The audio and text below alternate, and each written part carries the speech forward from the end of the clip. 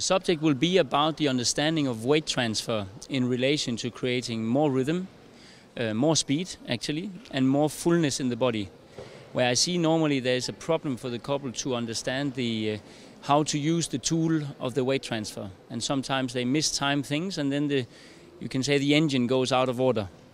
I didn't know he 10 minutes ago he offered me his big success was in his own career he was youth standard world champion. And after this, he felt a little bit boring. So he became five times adult Latin world champion. Not that bad. Yeah, please welcome Peter Stokkebroe.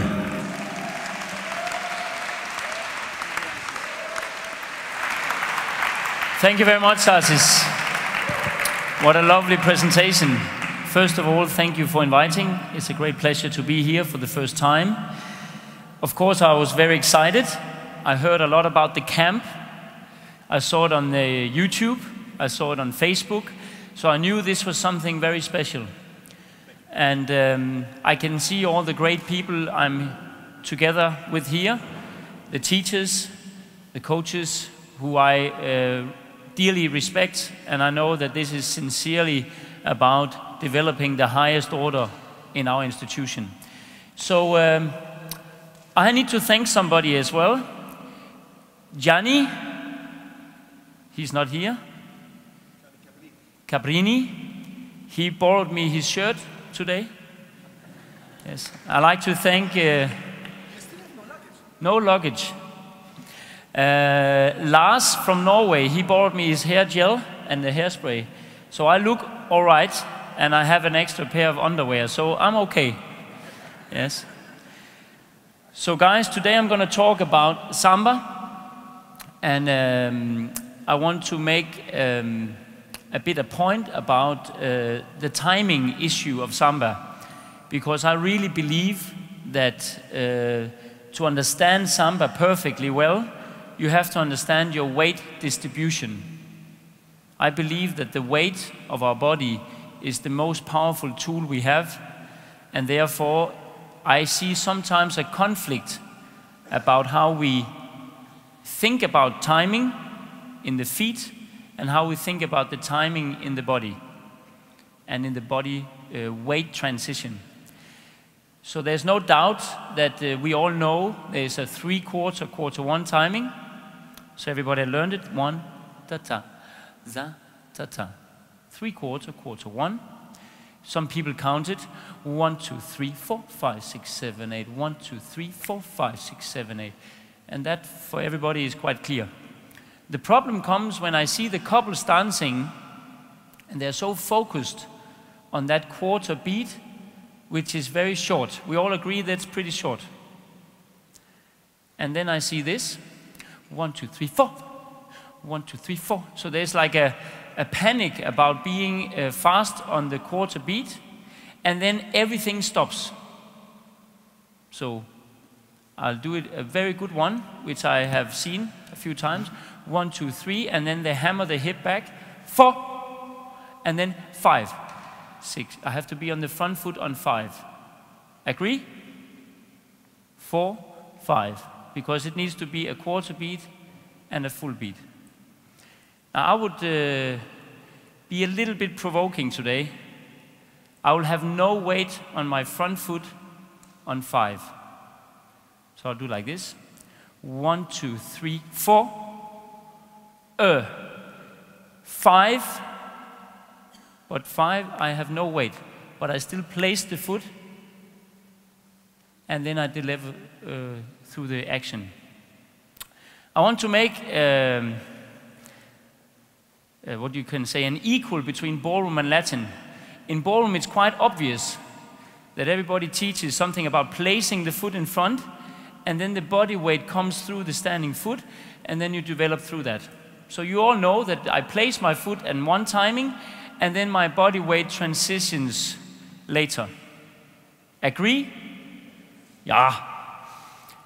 I would say exactly the same. It is a, it's a, uh, replace of the foot. But who tells me that I have to be totally on the foot on five? I have five, six, seven, eight to deliver my weight from the back foot to the front foot. It makes a huge difference in movement. So we go one, two, three, a four, a five, six, seven, eight. So now I'm delivering for five, six, seven, eight, and I would say approximately on seven, I would be full weight on the front foot. So we talk about standing leg in samba, in any dances. And what happens very often is that people, they leave the standing leg too early. So when I move from this action, it's, uh, I'm too busy getting to the new standing leg. My argument is your standing leg is decided by your hip movement. So if my hip is lifted here, it belongs to this standing leg, and my movement is still from this leg. When I then go transition, the moment I do a pendulum, this leg becomes my standing leg, not before. Yeah? One, two, and then now this becomes the standing leg. Prepare, zip. Now I do this reaction. Uh, when I deliver forward, placing the foot, the back foot is still my standing leg through the whole process. So basically what I do is I activate from the back thigh, rolling forward into the front leg, zoop, to go to the next. And this is a big change in uh, how people see it, you know. I see again, one, two, three, four, five, six, seven, eight, one, two, three, four, five, six, seven. Need to get there, need to get there.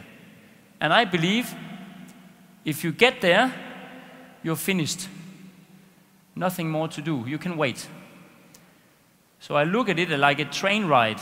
I know I'm going from Aarhus in Denmark to Copenhagen in Denmark. And my train is traveling through the Danish beautiful landscape. And it's an express train which does not stop at any time.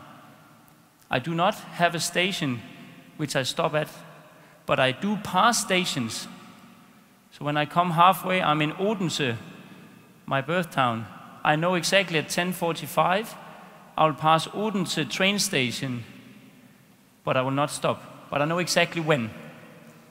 And this is the thing when we talk about uh, making uh, points on the, on the journey, we know we have to be here, yes, but don't stop.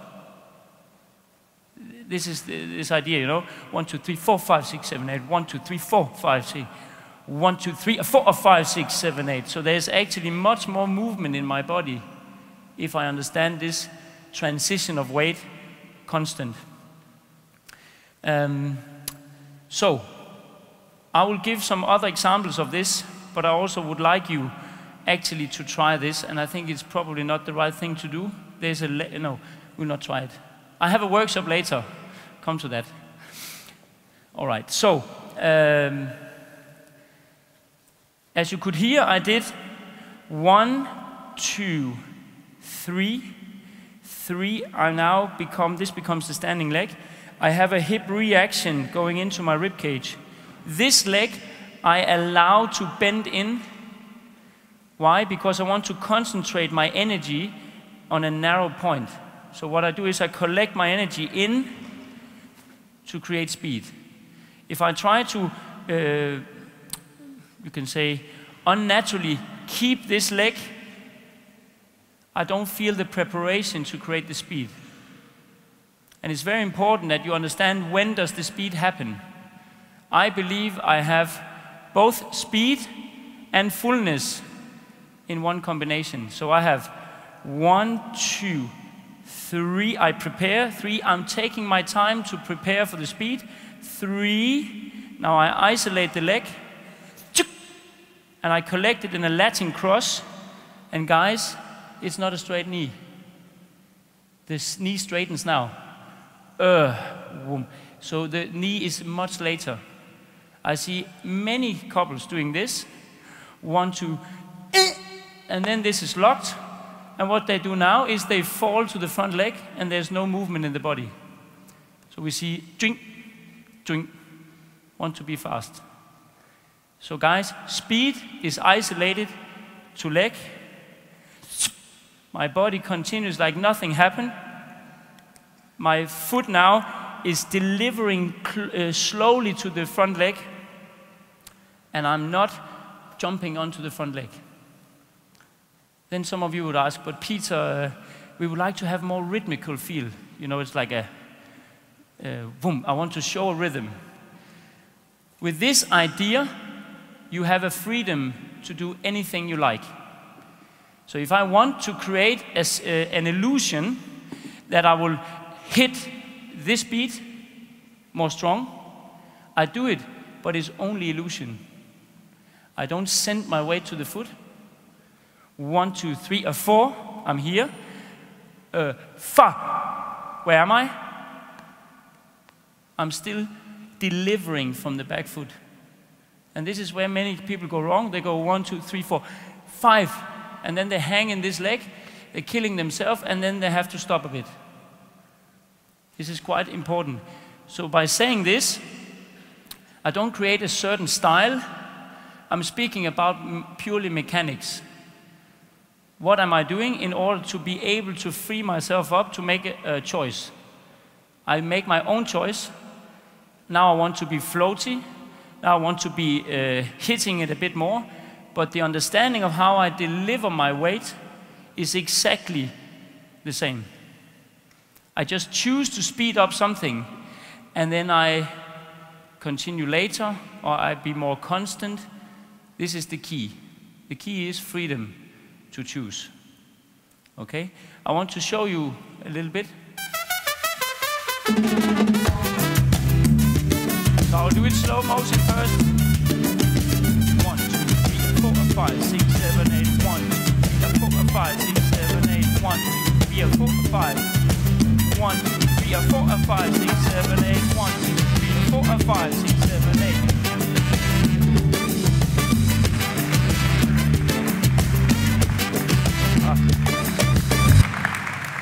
Okay, I'm not very competitive now, I know that. I'm trying to show you I never stop it's fluent. I want to see totally in the top of my body that there's, there's nothing. I'm just going, you know?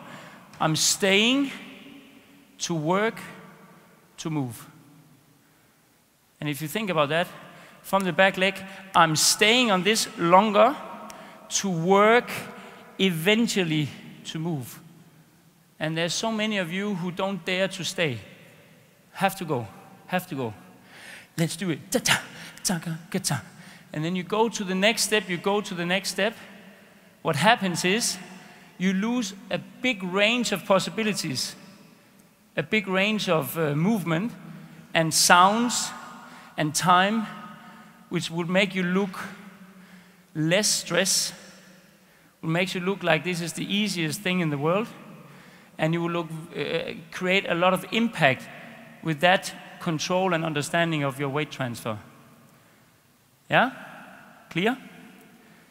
Don't mix up foot and hip reaction. Uh, boom. Somebody will say, but Peter, if you, uh, if you make a quarter beat, how can you then make the hip later? Then you will be too slow. No, because the hip reaction belongs to the next step. One, two, three, uh, four, finito.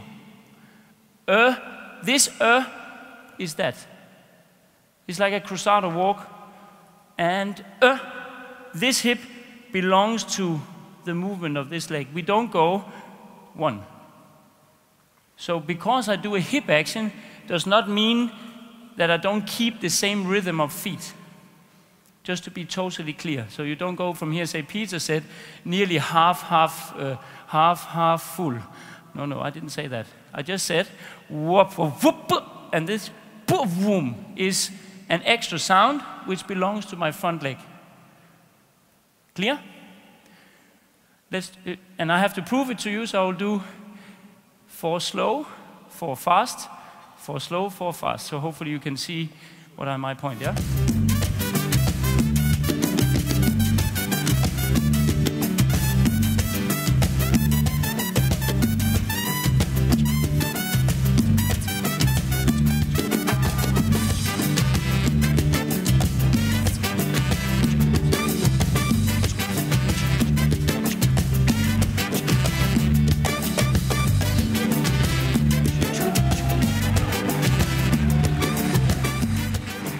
Guys, I'm already on Facebook.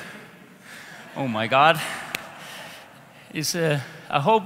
So, that's it. If I fall on my butt, it will be a disaster. Good you didn't tell me before. I hope you can see my point. I'm super rhythmical, but I'm only rhythmical because I understand exactly where I need to be at what time on the ride. If you shoot yourself somewhere, you're finished. Boom. You have to wait for the next train. You go in front of the train, wait, the train catches up with you, you go again. This is not the point.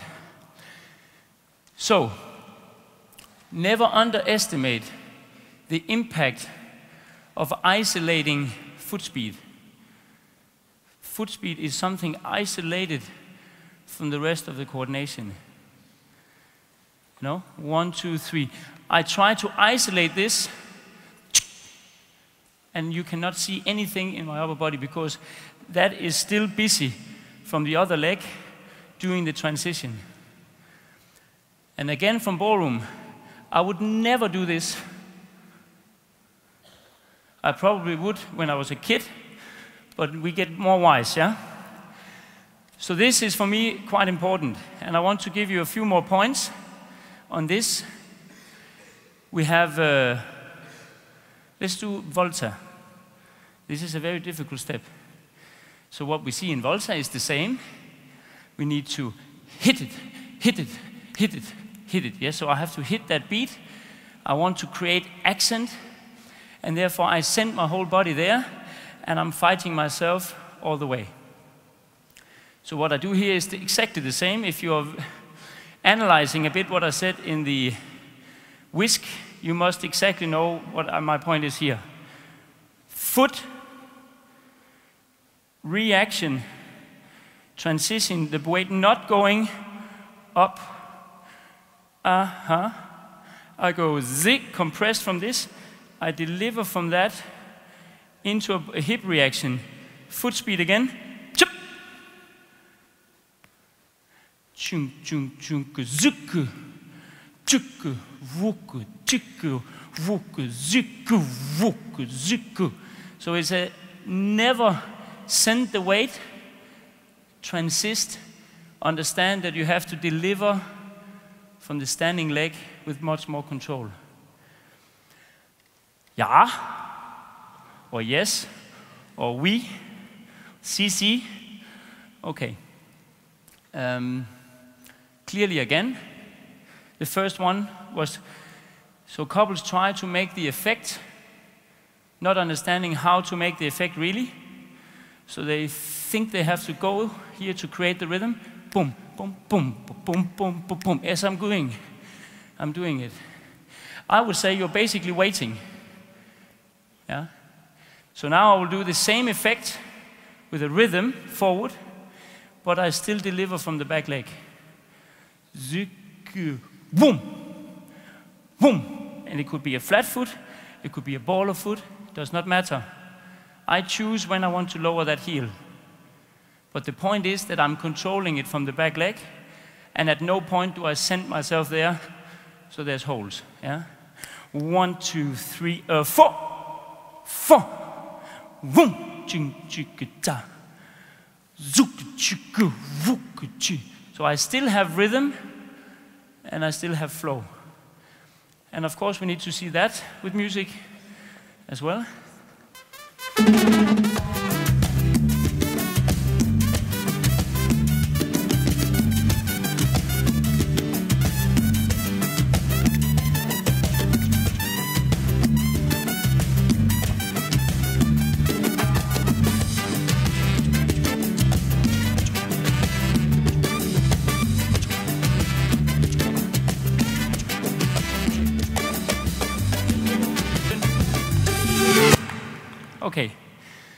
Tried in the last three ones to, to prove to you that I could still make an accent even though I don't put my weight there. 100%, yeah? So, this I will not prove to you fast because I'm getting tired. I need another point uh, before we finish. Uh, Botafogo, difficult step. No, stop. Stationary samba walk, also difficult step. Can I use you, Tara? We're in it together. Just to stress you a little bit. Oh, you don't have your dance. No, Is it dance shoes? no, it's not. Sorry. You. Off you go. You have dance shoes? Okay, I will explain a little bit before. Stationary samba walk. We all know that uh, the effect is zi ta, that leg. And then I have seen all kinds of weird versions of this. Of course, I don't say that it's wrong. I'm just saying that people make the funniest uh, solutions when they are struggling. So everybody feels it's difficult, so they choose to stay. Stick the foot out and stay here, because that's easier. Yes, it's easier, but it's not as good. It's not as good as if you understand exactly how your body weight can be transferred into a reaction. So I would say a higher level would be to understand exactly from here, Z, I prepare my spine into the standing leg. I shoot my leg, and where is my hip?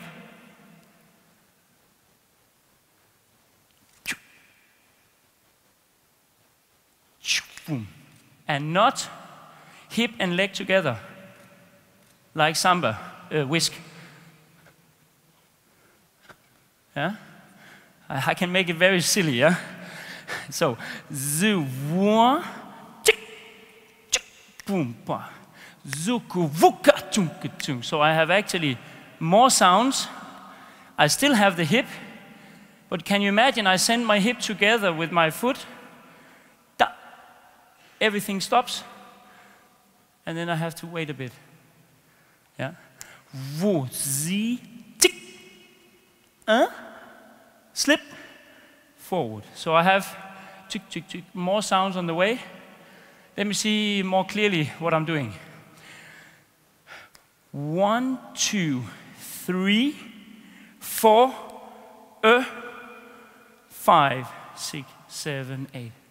So I have a four, uh reaction again, which prepares the uh of the foot sliding back and bending.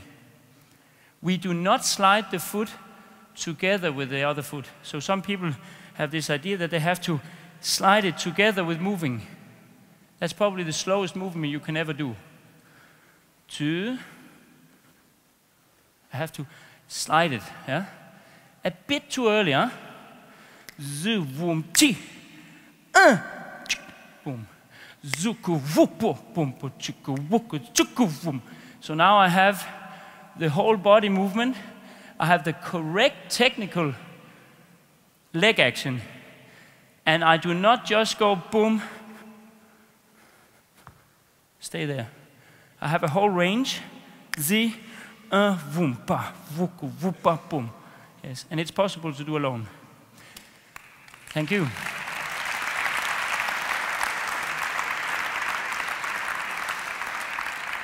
I can say, I think Christina is ready, because this is just a point when I'm dancing alone. But of course, thank you for joining. It's all organized, yes? Uh, when we do it together as a couple, we can create a huge fullness of the body action when we do this. So we are here, and boom. Then I start preparing going back. I shoot back. Then I have the reaction, and the reaction slips the front foot.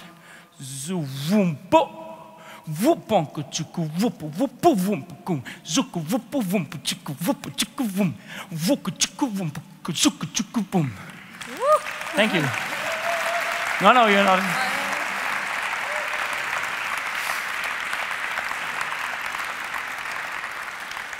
It's quite obvious that it looks very active.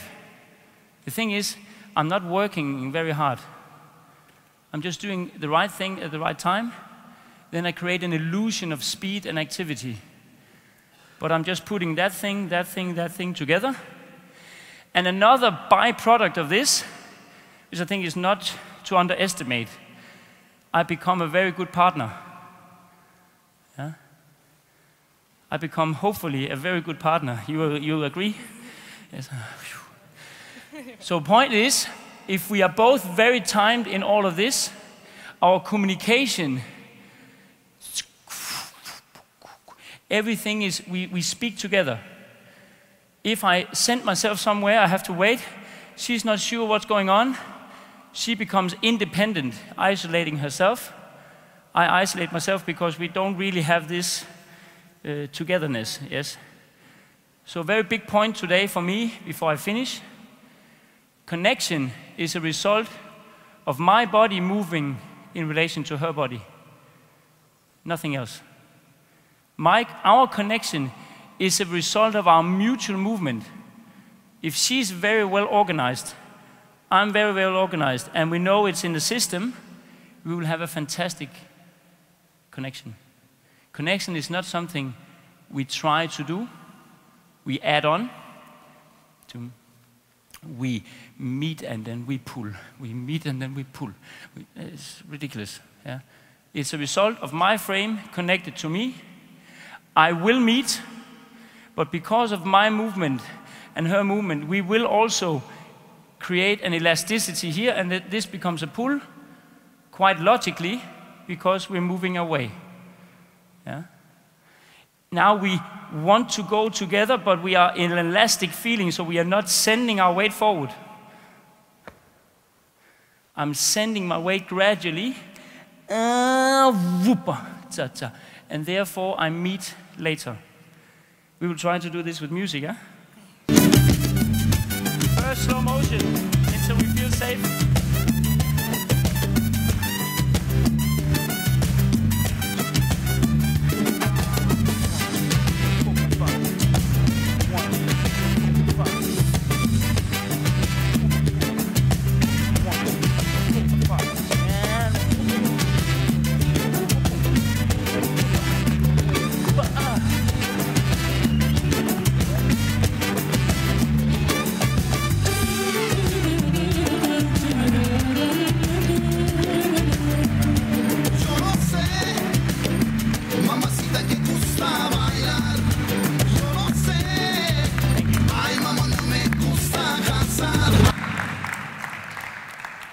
That was exciting. Okay, I got a little carried away, so I got a little bit busy, but uh, she coped very well, I must say. Um, so, today, to round up this lecture, is about understanding delivery of weight from one foot to the other, know exactly how you do it, when you do it, and what is the order of things. My weight is one thing, my hip reaction is another thing, my leg is a third thing. And all that needs to go together in an orchestra that makes sense. So it becomes a beautiful sound, and I'm thinking this is a great piece of music, but it's played in my body, and there's nothing disturbing it. There's no miss sounds like, what was that? That was weird. I just feel everything is going with me, and I create a harmony in movement. How then I would like to play it is up to me as an individual dancer. So this I'm talking about today is not about style. It's about understanding better your tools. And then you will create your own style eventually from this knowledge. It was a great pleasure. Thank you very much, guys. Thank you very much. Peter Stokkebrø, fantastic lecture. Really fantastic. Thank you so much. Thank you. I hope you will come back. I'm sure. Thank you very much.